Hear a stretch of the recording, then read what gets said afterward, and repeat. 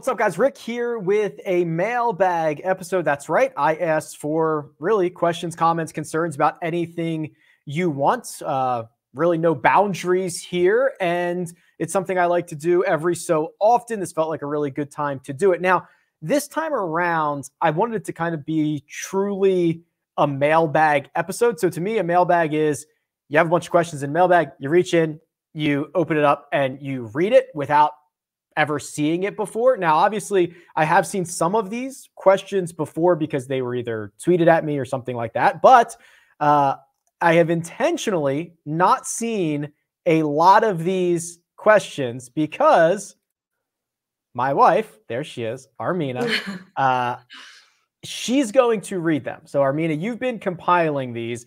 You are going to read them, and I've probably seen 20% of them. Yeah, I'd say that's about right. Um, okay. I think. Should I start? I guess we should just get into it. Yeah, go ahead. See what happens. These are uh, I I don't know. I don't, I don't even know what they are. So go ahead. Okay. Um. So the first question is from Tom Jacobs.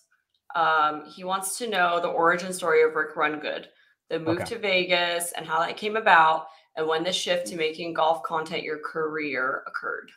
Okay. So I did see this, and um the, there were there was a lot of these questions, which is like, what's the origin story? How did you start doing this? All that stuff. So I'll just I'll just knock it out here with with Tom's question. So so thanks, Tom. Um, I my background is in marketing automation, uh, which is essentially just working in giant databases. And um, as I was working in giant databases, I realized I could make databases and I could make sports stats databases or golf stats data, databases, databases. And that's what I did. Um, and I just kind of grew it as much as possible, put as much information in as I could, and used it for whatever projections, making lineups, making bets, whatever that might be. Um, when I wanted something to, I wanted a way to always be able to access it. So I put it onto a website that was, I think it was password protected. I was the only one who had access to it, but I could access reports and my data um, wherever I was.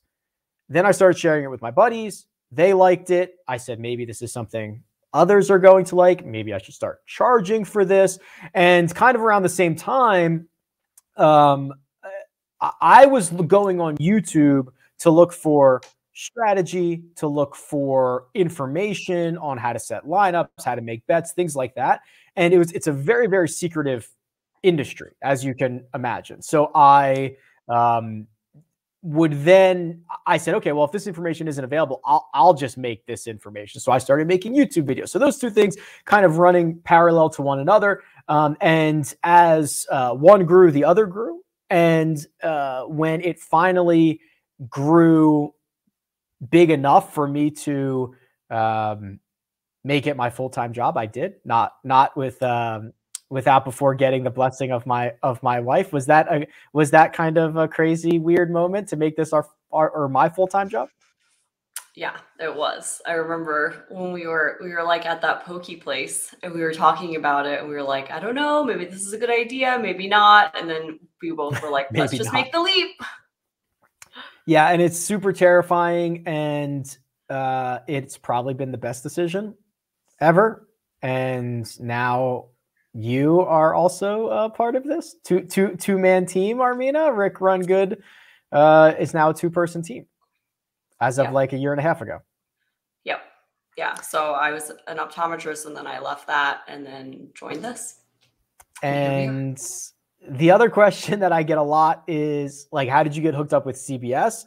Um, that was really just, um, I don't know if like, okay. So when, when the, the federal gambling law got repealed, uh, CBS, which is what I love about them, was one of the first ones to be like, "We're all in on on gambling here, so we're going to really embrace this." Uh, the first first cut podcast already existed, but I think it was like week weekly or maybe even monthly, and they wanted to kind of ramp it up, introduce a DFS, a betting angle, um, and I got the opportunity to kind of host it for a bit as a little bit of a test, and then um, and then we were able to work out terms, and and and kind of the rest is history. So that's kind of how I got hooked up with CBS, which I know is uh, a common question as well. I think I covered that one. Yeah, that was good. Okay, so switching gears. This one is from Ari Foot. Um, okay. Do do you put T5s or 10 bets on all your outrights or 20s or higher on the long shots? Okay. Uh, so top top five, top 20, top 10 bets on all my outrights. No, generally just the longer ones. Call it, yeah, I don't, I don't know what the comments said. Maybe call it like 25 to 1 or longer. Actually, sometimes it's probably even like 35 to 1 or longer, which is really just an insurance policy for golfers who might not have a ton of huge win equity, but are going to um, pop near the top of the leaderboard. Off the top of my head, I feel like Mackenzie Hughes could fit into this category, right? I feel like, um, you know, even like Kevin Kisner's of the world, guys that are going to a couple times a year finish T5, but might not win. These are the guys that um, you don't want to lose everything with. Uh, I would rather I'd rather take the outright number in full, not feel like I have to make my own each way for some of the shorter guys. So no, it's not it's not everyone. It's generally just the longer odds uh, because those are the ones that are obviously less likely to actually actually win the golf tournament. Um, Jay asks, what are your new goals? Maybe broadcasting for a network, network golf show, golf channel, etc or are you content with your current status, which is great, but I feel you are never satisfied? Uh, think you have a great on-air persona and excellent interview skills. Cheers from wow. Vegas. Oh, thanks, Jay. Oh, if it's Jay from Vegas, I if it's that I know a Jay from Vegas. I'm assuming it's that Jay from Vegas. I don't know, but uh, oh. thanks, Jay. Um, I don't know. This might be a better question for you. Like, I, am I ever content? I mean, no, you're not. you're not. You're definitely not complacent, and you're definitely never like, okay, this is this is good enough. Yeah, it, exactly. I mean, without um, so uh, I don't know if there's specific goals, right? But I think that um, uh, without giving too much away, I yes, I'm trying. I'm trying to get more involved in things, as you can imagine. Uh, uh but I think the the main goal would be whether it's for me or whether it's for somebody else to start bringing the DFS and the gambling um, side of golf more mainstream. That is an area that has uh, generally been untapped. I mean, listen, the PGA Tour didn't even acknowledge that gambling existed as of like two years ago, right? So it, it's something that they have just started to get into in terms of showing odds on leaderboards and matchups and stuff like that. But um, there's there's still significant golf is still significantly behind a lot of other sports. So that's that is certainly a goal. I think. Um, and, and I do set a lot of goals, and and and I, I my main goal will always continue to be building the best tools I can like like that's my pure passion that's rickrungood.com building um the best tools that i can possibly do adding more data like that that to me is the core and everything else is great as well but that's what i love doing so that will always be a, a pretty significant focus and a pretty pretty big goal um, this is a good one. Sal Vetri says, How do you explain to new people in your life what you do for a living? this is so hard. Um, actually, it's, it's it's not that hard. So I well, we we had to like figure out what we were gonna say. Uh, we we usually say we run a golf media company. That that's the line, and ninety nine percent of the time it, it ends there, and they go, "Oh, cool, sounds great." And then if anybody's like, "Oh," I play golf. Like, what do you mean by that? Then then you can go into it a little bit further. But it's it's it's really weird because I I see myself as having like like three full time jobs. Uh, like one's the website, which is the biggest portion of the income. Um, one is content, which would be like YouTube stuff, and one would be like what some people classify as like talent, like going on CBS Sports, CBS Sports HQ, doing things for like other networks or other or you know media outlets.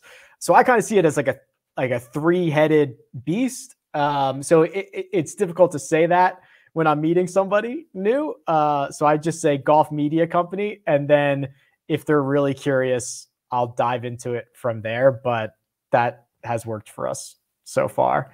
But it took us a while to yeah. get to that, didn't it? Yeah, we tried, there were we a lot of different. Things. yeah, a lot of iterations before Golf we got to like, website. okay, this is yeah, yeah. But then they were like confused about that, and they didn't know if you did any podcasting or anything like that too. So anyway, um, mm. okay, so PD asks, do you ever hold back anything on DFS so the public isn't also riding all of your guys? That's a good question. it is, but no. Um, one, one, uh, I do not move the needle that much, so there's no point in me holding anything back. It, it, there, like if I literally moved the needle, uh, you could argue that a content creator would be in a better position not telling people what they're doing.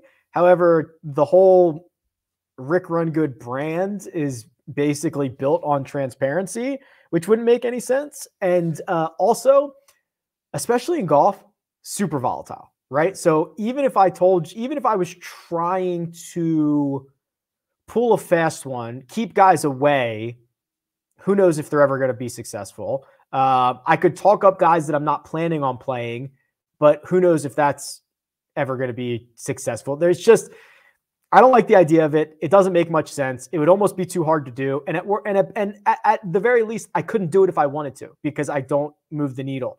Um, the other thing would be, and and people know this in the Slack all the time. Uh, like most, the, the Slack could probably guess my two hundred dollars single entry lineup every single week, and then when that a contest starts, uh, they will see that all of the guys that I've been talking about all week, I have played, and I will just live and die with those guys. Okay. Um, Dylan Schmittler. What's the Schmittler. over under? what's the over under on Bryson Majors in 2022?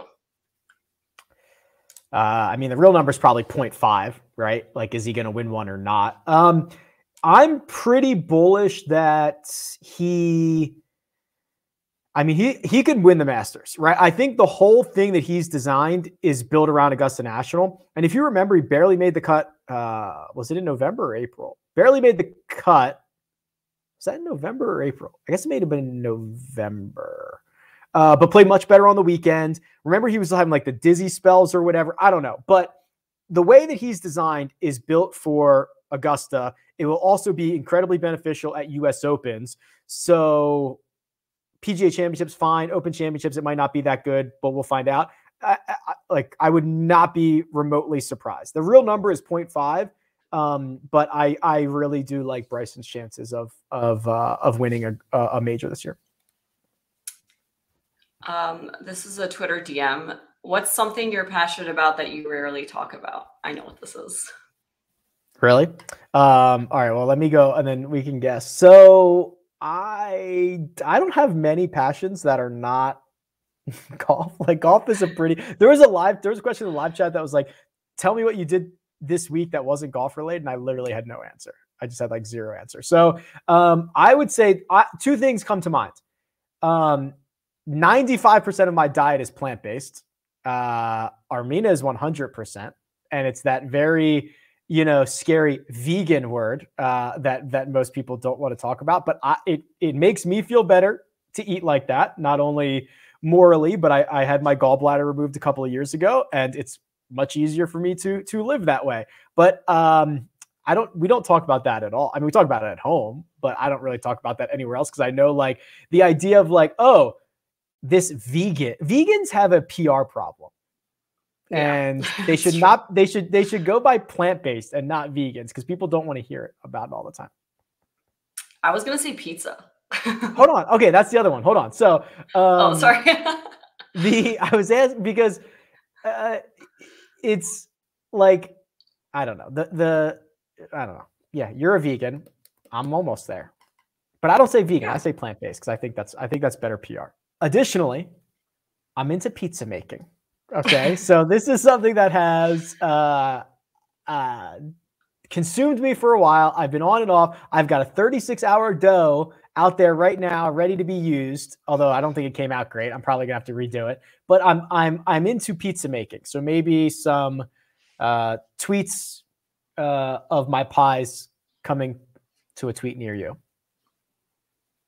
I think that's it. Plant plant based pizza. Most, it's mostly yeah, it's mostly golf stuff, quite honestly. Yeah. Um. Okay. So, Mark Riggs, someone, maybe even you, over the last week mentioned having a medical exemption to use a cart but no caddy. What are your thoughts on that? And could it ever be a reality? Asking for a friend, Tiger. Ooh, um, I don't think it was me. I don't think I mentioned that. But so I don't think it'll happen. Uh, so, so I guess the idea is whatever exemption Tiger could get to ride a cart instead of walking. Um, so kind of multiple parts here. I don't think it'll ever happen. The PGA Tour and golf in general is um, historically conservative and slow to change things like that. I just don't see it happening. The caveat is if it were if they were ever going to do something, it would be for Tiger. Right? That's that's the caveat. To get Tiger into the game and and it would be to me a PGA Tour rule, not like a R&A worldwide golf rule, right? Because the PGA Tour could say, here's our our moneymaker, our our guy. We want him to play PGA Tour events. Maybe he goes play plays the Open Championship. He's got to walk. Uh, but PGA Tour events, like that's the only path for it. I don't think it'll ever happen because it would be. I, I just think it would be. A, I mean, there'd be an outrage for it. I, I, I don't think it'll ever happen. But that's that's the only kind of way I see it going. Is for Tiger in PGA Tour events only. Um, Elijah Weichers says from a strokes gained perspective, can the whole field technically gain strokes?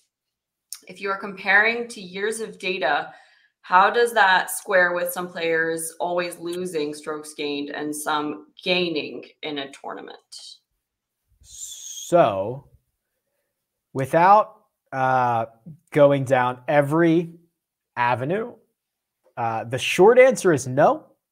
Um, so there's different there's there's different ways, right? So strokes gained total, which is just your score against the average score, it would be impossible for every golfer to either gain or lose because um, every golfer in a field because their scores are literally being compared to one another. So if every golfer shot a 59, no, that's a bad example. If every golfer shot under 60, which would still be a ridiculous score, a ridiculously amazing score, someone's going to have to be the worst and the average, someone's still going to, there's guys who are going to be above and below the average. So, no, that's not possible. Now, if you, so the other way, and I've seen some guys backdoor into strokes gained this way, it's not the best way to do it, but like, okay, so if you, over one round of golf, uh, just compared golfers to the, the like many year baseline, like a eight foot putt is 50 50, right? So if every single golfer makes every put every putt from eight feet, they would all be gaining strokes putting, but that's not really how it works because you have to you have to get to the strokes gain total number for that round anyway, and they're being compared against other people on the course that day. So um, I, I think I see where you're going with this. If you were only looking at overall long-term baselines, technically, I guess it could, but that would be an inaccurate way to do it. It wouldn't make any sense, and you'll never see it. So short answer is uh, no, but uh, your brain is working in funky ways that you came up with that question. okay. Mark Fox. Mark Fox asks your top three golfers that you would like to see winning a major in 2022.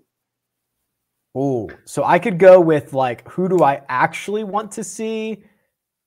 Who would be the best for business, or who would be the best for like like Rickie Fowler winning a major would be kind of cool. Uh, that would be like the comeback, right? Tiger, obviously. Viktor, obviously. Um, th- that's not the top three. So Tiger, I think, has to be one because not only would it be amazing, but I, I mean, it would be it would be insane. You think what he did in 2019 is crazy? It would be absolutely insane. Um, Viktor winning one would be good. Who's one who has not like who has not won a major that really needs one? Adam Scott. you just want to see Adam Scott like on TV yeah. more often. um, I mean, it would have been Rahm until he until he just won one. Xander, Xander would be kind of cool. I'll go Tiger, Xander, Viktor.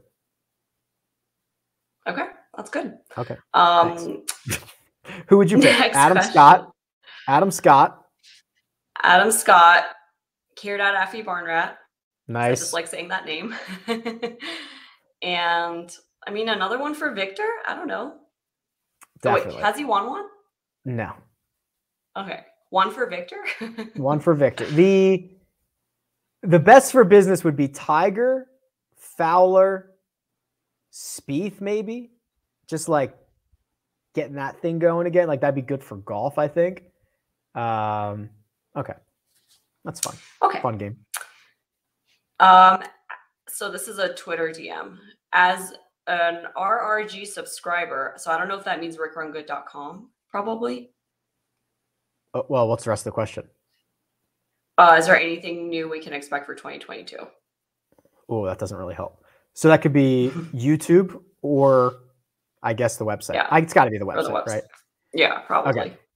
So I guess the answer for both is is yes. I mean, YouTube will always be a constant improval, uh, improval, improvement on things um, to the best of my ability, and uh, the website. Yeah. So I I don't know if if you've been paying attention.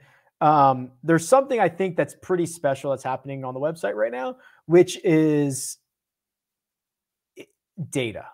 It's probably becoming one of the larger golf data websites available. I mean, by the time um, we get a couple months or weeks into 2022, it's going to have every single round ever played on the PGA Tour by strokes gain metrics, every single round played on the senior tour ever, every single round played on the Korn Ferry Tour ever.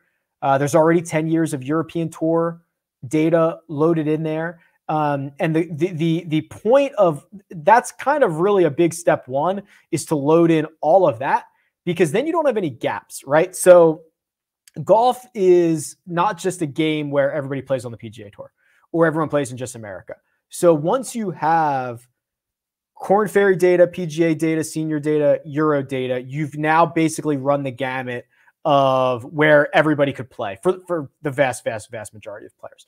Um, and then now, when you're looking at a cheat sheet or you're looking at a golfer profile and a guy who has split time between the Korn Ferry Tour and the PGA Tour, um, and it, this is already on the website. This has already been updated, but like you're not just miss, you're not just getting the PGA Tour data. You're getting the Korn Ferry Tour data as well. If they go over and play overseas for six weeks and come back, um, you're getting that data as well. So you're seeing realistic trends. There was there was a time probably a year ago or two years ago where like you know, Billy Horschel's year this year would have been kind of missed out on, right? Because he won at the match play and he won in Europe. Match play is not a ShotLink event, and Europe wouldn't have been supported. Now it is. So now all that data is in there. So like that's part one is just this massive influx of data, which is already been incredible and will be better every single day. So as of right now, it's every PGA Tour round dating back to like 2010 every PG, every Korn Ferry round, every senior round, and every Euro event for 10 years, it'll be more than that. Um, then it goes to the tools, which will always be big improvements to try to make the user experience better, the research process uh, easier, but still robust. Uh, I continue to get better at making tools all the time. I've got some ideas. The custom model will have big updates. So, yeah, the short answer yes, I could talk about this stuff for an hour and a half, but uh, lots of good things coming for rickrungood.com in 2022. That sounds very exciting. Um, you know about you act like you just heard about all Speaking of the custom model, Mm-hmm. Nathan Baum asks, what is the difference between the custom model you build on the Monday DFS pods versus the model you discussed on the Tuesday best bets pods? Ooh, okay. Um, Monday's custom model is literally a tool on rickrungood.com that is called custom model, and it allows you to choose any time frame, any um, stats that you want and apply weights to those stats, and then it ranks those players accordingly. The model that I talk about on the Tuesday show is also on rickrungood.com. It's called the Tournament Predictor tool, where that is actually a tool that is simulating the results of the tournament 1,000 times and then showing you how often a golfer is finishing first, top five, top 10, top 20, comparing that to the odds. So that the, the, the calculations are different because you as the user of the custom model, you can choose rounds, uh, stats that are important to you, all that good stuff, and weigh them. Uh, the the the tournament predictor is kind of like my little secret sauce that takes into account um, recent form, long term form, course history when available. Additionally, um, it, it, really likes volatility, right? Because that's how you win golf tournaments. It really, really likes volatility. So it's just kind of like my my secret sauce. So they are um, they are different. Um, Brady asks, "What?" I don't know how long. This... Like, should I be how uh, uh, how many are left? Like, should I be going faster or slower? Like, how many questions? There's only left? four. There's only four left. Oh, okay. Jeez, I yeah. could have taken more time on some of these. Okay. um, it's okay. um, oh yeah, I bet. so Brady asks, "What to this point has been your favorite golf moment to cover?" Oh God. Uh, there's been so many good ones. I think that um, I will remember the 19 Presidents Cup a lot. That was the first event I did with CBS. It was overnight, so it stuck out, and it was really one of the first events that I really covered, um, like doing this full time. So that will always I'll remember that um, the Hideki Masters was awesome, not only because of the way he played, but he had the quote about I was sitting in my car playing video games or whatever on his phone during the rain delay. Then the huge win for Japan, uh, just awesome. I'm trying to think what else. There's probably um, what was I at in person? I went to the uh, U.S. Open at Torrey, but I was only there Thursday. But that's just a different. That's a different feel. Um, so I'll always remember that. But I don't. I don't know. Probably President's Cup and Hideki's Masters. I think. Yeah, I remember those. And if you remember um, them, then I definitely remember them. Yeah. Um, Okay, so this is a Twitter DM. I'm curious about your move to OC, Orange County, and then to Vegas. Not sure if you talked about those before. Favorite Orange County slash LA golf courses as well. Okay, you can stay here for this one. Um, so originally from Philadelphia, I, I think uh, people when they notice the accent eh, say, "Are you from Philadelphia?" or something like that, and I say yes. Um, what if I said no and I just lied about it? I was like, not what we're talking about? Uh, so moved to Orange County five or six years ago because weather is very good. We still have family in Orange County, uh, so we frequent back there quite often. The move to Vegas, Armina, was um, needed a bigger place, needed a kind of a dedicated studio. We were both working remotely. It didn't really matter where we lived. We started looking around a couple different places, visited Vegas. It was great housing was cheaper, no state income tax. Yeah, That's, the list goes on. That, yeah, right. We couldn't have afforded this place in California. Um, we have a pool, which is crazy. Never had a pool before. All that yeah. good stuff. Yeah, I the All the above. Favorite, all the above. The favorite courses in OC. So, uh, I mean, Pelican Hills, awesome. The two courses there. Monarch Beach, uh, played that quite a bit those are probably my those are probably my my two favorite. Strawberry Farms in Irvine would be good. Okay, sorry. I could talk about those for a while. um, okay, this is a Twitter DM also. If you had to pick a winner for the Masters now, who would it be? it's always one of these. Um, I don't know. This is this is always just a great way to make me look silly. I, I, I think that all right, so a couple of items. Uh, you could go with the pure course hit, like like like if you said Jordan Spieth, how could you ever be wrong, right? The guy's just absolutely dominant. How how could you be wrong about that? Um, the guys that I think are trending in the right direction, like Justin Thomas, right? I don't remember what his most recent finish was, but his his results were getting better and better and better every single year. It's just a matter of is one year he going to putt well? That there's your there's your question. If the answer to that is yes, he wins one of these eventually. Um, I am likely more bullish on most that Bryson will win one. Now, Augusta National is so unique that I don't know if that's uh, now or in the next five or 10 years.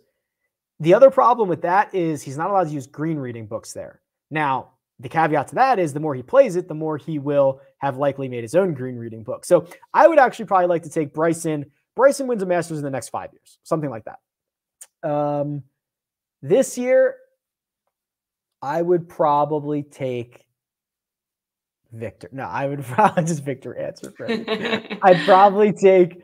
I think JT is a very likely candidate. The more you play it, the better he is. He's got the baseline of being a ball striker. Just got LASIK done. If he can putt, he's ready to rock and roll. I'll take. I'll take. I'll take JT. Who would you take? Oh, I was not expecting this. Um, um, I mean, Rahm. I don't know. Is that too easy? Yes, probably too easy. Um, okay, the, who would I want to see is Rory. Rory would complete the career Grand Slam. Ooh. And okay. Adam Scott's already won a master, so you don't have to worry about him. He'll be just fine. Um, this is the last one. I think this is actually my favorite question. This is also okay. a Twitter DM. If you got a hundred mulligans around, do you think you could win a PGA Tour event or at least make the cut? Wait, say that again. If I got a hundred mulligans a round? Yeah. So four rounds of a hundred mulligans each. Oh, well, Two. Do you think you could make the cut? No, I'd win. I mean, you think you could win? A hundred mulligans around. So hold on. Let wait. Let's be. These are not a hundred strokes. These are a hundred mulligans. So I still have to hit the shots. So if I yes. hit, so if I'm on number one and I hit it out of bounds and I use my mulligan, I've used one mulligan, but I still have to hit that shot. And if I do it again, I got to use another mulligan. So it's not like a hundred strokes, which which is actually mulligans it would make it harder. But yeah, like, I mean, couldn't I hit six iron and win this? Right. So, all right, here's Wait, what I'm But you have to keep in mind something else. This is a PGA yeah. Tour event, right? So there's like people there, like Adam Scott's right next to you. like, aren't you nervous? Every conversation ed ba- heads back to Adam Scott. Yeah, so I would be, but um, okay. So for reference, I'm like a seven and a half handicap, which means I shoot in the low 80s. And if I were to play a PGA Tour event in PGA Tour conditions, I would probably shoot a 110, 120, maybe. I don't know. That might be a lot.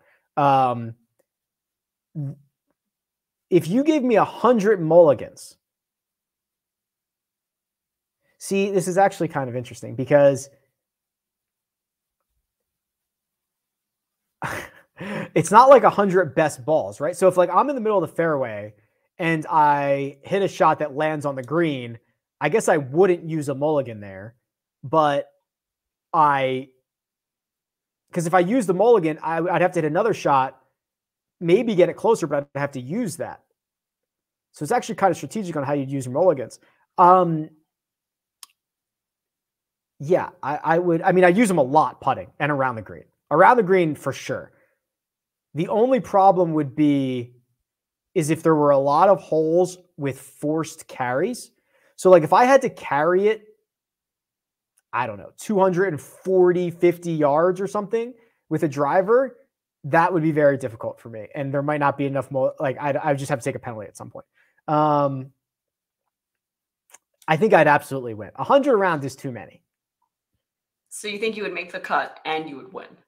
The question is 100 around. So, okay. So if I shoot 110 in a normal tour conditions and I use 100 mulligans, can I shave? Well, I have to shave like 50, 45 strokes off. I think I could. 100 mulligans is so many. 100 mulligans a week, I might not make the cut. That's how good these guys are. That's how tough these courses are. But 100 a day, that's uh, what's 100 divided by 18? How many is that a hole? It's five a hole, six a hole. Yeah, I'd win. Actually, I don't know. I'm sorry to think I wouldn't, but uh, uh, the nerves would definitely be be scary. But I, I I'd win. I'd win. I need a good caddy. And you're like playing I, from the all the way back tees, right? You have to play from the same ones as they do. Yeah, no, for sure. Yeah, and but like okay, but like with all those. Okay, things. so but okay, so when you tip out Summerlin at sixty nine hundred or no seven thousand yards, like it's only going to be maybe two hundred yards longer. Okay, how about this? I could win at Summerlin from the tips, uh, with hundred mulligans a day. I could win that. Actually, no. You know what? No, I wouldn't win at all. Oh my god. Because because here's the problem. Sorry. Here's the problem. I would never make enough birdies to win. I was just thinking, would I like make no, I would never win. Sorry. Because I would have to make like eight birdies a day.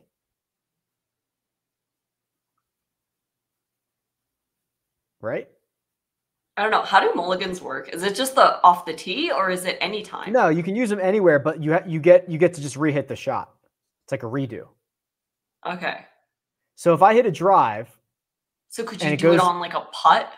So here's the thing. So so so oh yeah, I would use them a lot for putting because that would be the best place to use them. Yeah. Um, but if you hit a drive that's in the fairway, I'm not going to use a mulligan there. But then I have to hit a shot that gives me a chance to make a birdie. So I might have to take like, I mean, it might take me 10 shots from the fairway. No, I would yeah. never win. I'm sorry. I would no, never I win. So. I would, um, and actually, so here's the thing Summerlin's a terrible example because even the cut line would be like six or seven under. I would need to play like uh somewhere hard, but not I, I would need like the winning score to be like 12 under so that the cut line's like three over. Because I could make pars all day with a yeah. hundred mulligans around. So you think? But I don't think I'd ever make enough birdies. Yeah. So wow. Okay. Great question. um, no, I would not win, which is crazy to think, uh, with hundred mulligans a day. But I would definitely make the cut, and the harder with par, par being a better score, I think helps me. Mm-hmm. Wow. How many mulligans do you think it would take for me to make the cut? See, that's the problem. So that's the problem with mulligans is you'd eventually have to hit the shot, which is like yeah. Might never happen. No offense. Yeah, it would never. Yeah, it, the like, answer is infinity. but like, right, it's not knocking off hundred strokes or fifty strokes or thirty strokes. It's like mulligans is a great question because you actually have to eventually hit the shot, mm-hmm. and I don't know if I could hit enough birdie look shots to win. Wow. Great question, Twitter DM. Mind blown. Yeah. Is that it? That is all of them. Yeah. Okay. Great job. Tip of the cap to Armina. Thank you very much for your services for today. Thank you very Thank much. You. Uh, okay. Thank you. That'll do it. I don't have much to plug or say. Hope you enjoyed it. If anything else comes up, make sure to uh, leave a comment. Happy to interact there. Happy to interact on Twitter at Rick Run Good. I pet will uh, pet your dog, and I'll talk to you guys soon. Goodbye.